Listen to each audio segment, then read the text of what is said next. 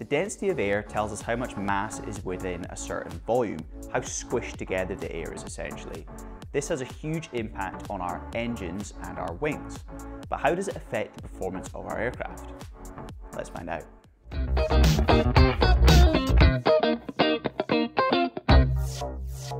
Hi, I'm Grant and welcome to the fourth class in the meteorology series. In this class, we're going to be continuing that breakdown of the atmosphere and take a look at the density element.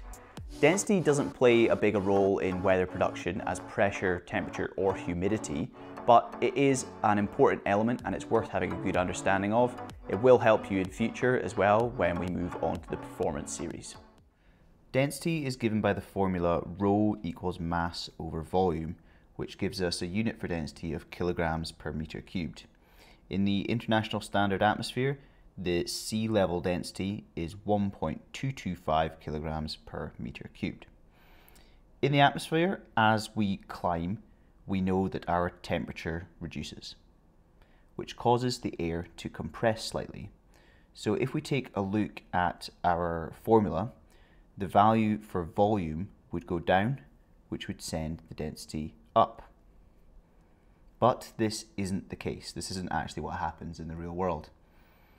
This is because the atmospheric pressure is also reducing as we climb.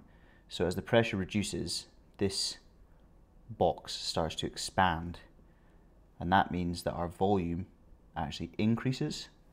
So we're dividing by a larger number and therefore the density reduces. Basically the pressure, in essence, has a larger effect on what happens to the density than the temperature. The density at the surface is not constant and changes according to a few things, some of which we just looked at when we were talking about the altitude. The first one is the temperature.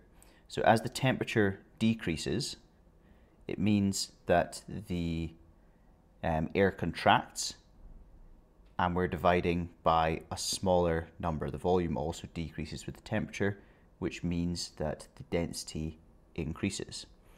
Or if you flip it around, as the temperature goes up, the air expands, and there are few air particles per unit volume, and that means that the density will decrease. Pressure influences, like we just talked about, it's the same sort of idea as the pressure drops, the air expands, which means that the density will also decrease. Again, think about the box as expanding out this time as the pressure drops. So this is the box contracting as the temperature goes down, and this is the pressure expanding, uh, sorry, the density and the volume um, expanding, sorry, the volume expanding as the pressure goes down, which means that the density decreases. The other thing that changes density is the humidity. The more water in the air, then the less dense the air is. So as the humidity goes up, the air becomes less dense. This is because a water molecule weighs less than air molecules. So if we replace air molecules with water molecules, we've got a lower total mass being divided by the same volume. We're dividing a lower number by a same volume, which means that the density goes down. So depending on where we are in the world, you can make some assumptions. In the Australian outback desert in the summer, the air is pretty likely to be low density based on the temperature being very high. In the winter, in Russia, it's likely to be high density air because again the temperature would be quite low and that would mean that the air is dense and uh, pressure patterns would have a big influence on this as well, as well as the levels of humidity. If you're by the coast, your humidity is going to be a lot higher, so your air density won't be as high. Aircraft performance in terms of aerodynamic forces depends on the formula force equals a half rho v squared SCF, where the force is either lift or drag, rho is the density, v is the speed, s is the surface area, and the CF is a coefficient of lift or drag, depending on which one we're finding. If you're unfamiliar with this formula, then go and watch my previous videos on lift and drag in the Principles of Flight series, and that should get you up to speed. But you can quite clearly see here that density has an influence on this formula. It also has an effect on engine performance. Generally speaking, very generally, more dense air is better for the engines. What we can do to help us when we use these equations and calculating the performance of an aircraft is to use something called the density altitude. This is the equivalent density in the international standard atmosphere where the current density that we have occurs. It is calculated from the current temperature and pressure conditions, which we know, as we just saw, influence the density. You can calculate this um, density altitude using the CRP5 computer, or you can use a rough estimate, which is 120 feet per uh, degree of ISA deviation. And then you would add or take that away from the pressure altitude um, to find the density altitude. So an example of calculating density altitude would be something like this. At a pressure altitude of 13,000 feet, the temperature is minus 22 degrees Celsius. What is the density altitude? So you could either do this on the CRP5. Um, if you want more information on how to use a CRP5, I've got a video um, explaining a few of the things you can do with it, or you can do it through a calculation. The first thing to do is find out the ISA temperature at 13,000 feet. So 15 degrees at sea level minus 2 degrees per 1,000 feet, 2 times 13, 26. 15 minus 26 is going to be minus, um, 11 degrees Celsius, and the actual temperature is minus 22. So our ISA deviation is minus 11 because it's 11 degrees colder than what it should be. Then we use the um, 120 feet per degree of ISA deviation, so it's minus 11 degrees of ISA deviation times by 120 equals um, 1,320 feet.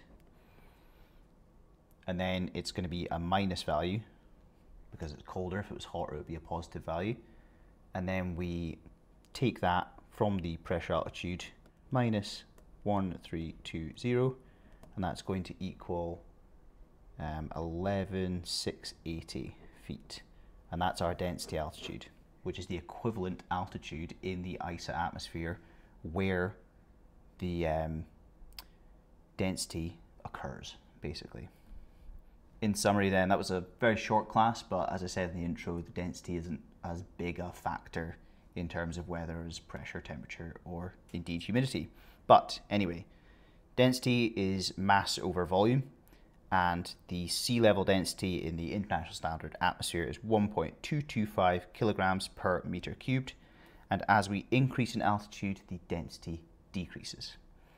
One of the factors behind this is the temperature, but it doesn't play a bigger role as the pressure. But basically, as the temperature is dropping, it means that the volume is dropping as well. Everything's becoming contracted together, which would mean that the density increases. So you can think of cold places, such as Siberia, as having quite dense air. The main driving factor behind the altitude and density relationship is the pressure. As we increase in altitude, the pressure drops. This causes the volume of air to expand everything expands out, which means there are fewer particles per unit volume, and that also causes the density to drop. As the humidity increases, or I suppose we could do it conversely, as the humidity decreases, it means there are fewer water molecules in the air. Water molecules are usually lighter um, than air molecules, which means that as there are fewer of these water molecules in the air, the mass of the air actually increases. And as the mass of the air increases, we're taking a bigger number, dividing it by the same volume, which means that our density also increases. So you can think about really humid air as being quite um, low in density, but really uh, dry air as being uh, very dense, essentially because it's all to do with the weight of the water molecules. Sounds a bit counterintuitive because humidity, you'd think you'd have more water in the air, which would mean there's more stuff in it, but it's down to the actual weights uh, and masses of those particles. So density plays a big role in generating aerodynamic forces. This is the equation and it features density um, as one of the multiplying factors. So what we can do for ease of calculations is use the density altitude, which is the equivalent altitude in the international standard atmosphere where the current density we're experiencing happens. And you can calculate that by taking the pressure altitude and then taking away or adding on 120 multiplied by the ISA deviation and you get a good estimate of what the density altitude is um, for your current pressure altitude.